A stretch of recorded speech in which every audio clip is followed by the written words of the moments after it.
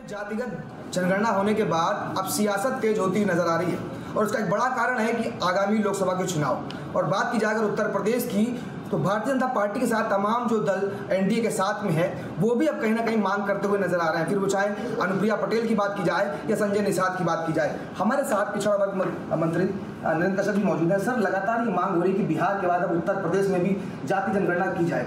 आपके साथ जो घटक दल भी बीजेपी के साथ में है एनडीए में, वो भी ये मांग कर रहे हैं कि जाति जनगणना होनी चाहिए। क्या लगता है ये कितना सही रहेगा और क्या इस पर विचार करती है बीजेपी? राजनीतिक क्षेत्र में जब भी कोई पार्टी जाती है, उसका अपना एजेंडा होता है, उसके अपने लक्ष्य होते हैं, अपना टारगेट होता है। मेरे ख्याल से हमारे सहयोगी दल, सुभाषपा हो, निषाद पार्टी, या जनता दल या अनुप्रिया पटेल जी की पार्टी, इन पार्टियों के एजेंडे में निश्चित जाति जनगणना का विषय होगा, जाति सर्वे का विषय होगा। तो अपने एजेंडे पे बात करना, अपने मुद्दे पे बात करना हर पार्टी की ज़िम्मेदारी या उनका दायित्व बनता है।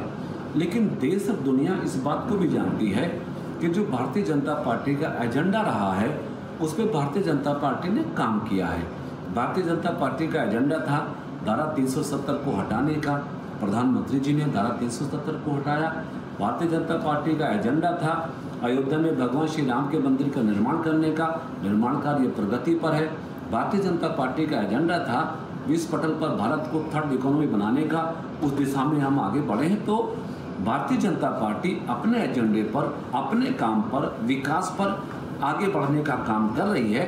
बहुत शुक्रिया हमसे बात करने तो ये पिछड़ा वर्ग कल्याण मंत्री कश्यप जी साहब ने बताया कि आगामी लोकसभा चुनावों में उत्तर प्रदेश में जिस तरह से दावा किया जा रहा है बीजेपी की तरफ़ से, वही दावा ज़मीन पर भी उतरेगा और अस्सी की अस्सी सीटों पर जीत सुनिश्चित की जाएगी और सभी वर्ग बीजेपी के साथ में कमर मनोज के साथ मैं इनके तिवारी लखनऊ।